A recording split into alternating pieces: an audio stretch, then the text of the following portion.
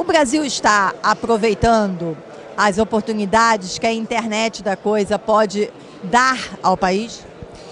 Sim, está aproveitando e tem algumas coisas que a gente precisa resolver nesse, nesse processo.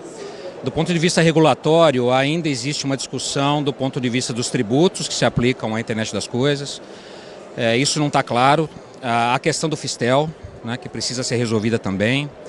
É, há questões envolvendo o marco civil. Né, tudo isso entra como empecilhos para o ecossistema se desenvolver de uma maneira mais pujante. Por outro lado, é, no que toca às operadoras, todas vêm trabalhando para lançar as redes o mais rápido possível. E esse processo é, é muito importante que elas é, comecem o mais rápido possível para aprender. Porque na internet das coisas, a gente, como o próprio nome diz, deixamos de atender as pessoas, passamos a atender as coisas. E eles precisam entender como o modelo de negócio vai funcionar. Quanto mais cedo eles começarem, melhor será o desempenho deles nesse mercado. A gente sabe, por exemplo, você falou da questão do marco civil da internet. Qual é o, qual é o gargalo que tem no marco civil da internet para a internet das coisas?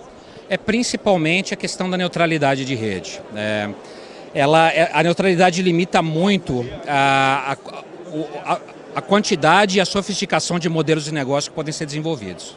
Deveria ter, porque a neutralidade foi feita por conta dos pacotes da internet tradicionais teria, como vai ter, normalmente a internet das coisas vai ter a rede própria, vai ter o narrowband internet das coisas, e aí não teria, não teria como aplicar o, o marco civil, é isso? Eu estou entendendo corretamente? É, no, no, caso das operadoras, o IoT ele utiliza as frequências do SMP, da, da regulamentação do celular. Então isso precisa ser dissociado, né? isso precisa ser esclarecido, na verdade, porque não, a, a legislação não, não é clara nesse sentido.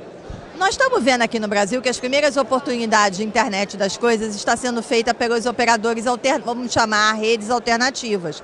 Você tem a Sigfox, você tem a Loura da American Tower, porque as operadoras ainda não têm nenhuma rede. Só que essas alternativas funcionam em frequências não licenciadas e as operadoras vão atuar em frequência licenciada.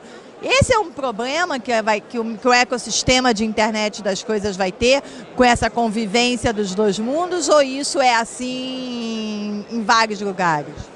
Olha, o, o, o, quando a gente fala de internet das coisas, a quantidade de tecnologias envolvidas é muito grande. É, a, até uma rede Wi-Fi residencial é uma rede de internet das coisas, quando você conecta computadores e outros dispositivos ali. É, particularmente o fato das operadoras infraespectro não licenciados, é, eles não tão, eles não têm as, as, os amarras que a legislação coloca em cima das operadoras. Então é, eles têm aí levam alguma vantagem e isso precisava ser equilibrado. Agora, do ponto de vista tecnológico e de modelos de negócio, é, a tecnologia celular ela é muito mais é, robusta para oferecer esse tipo de serviço. Então, quando a gente fala de um caso de negócio é, onde precisa de transmissões, de taxas de transmissão muito mais altas, de um desempenho muito mais é, interessante, é, certamente a solução será usando a internet das operadoras celulares. Qual é a vertical que vai usufruir melhor nesse momento, nesse primeiro momento, de internet das coisas aqui no Brasil?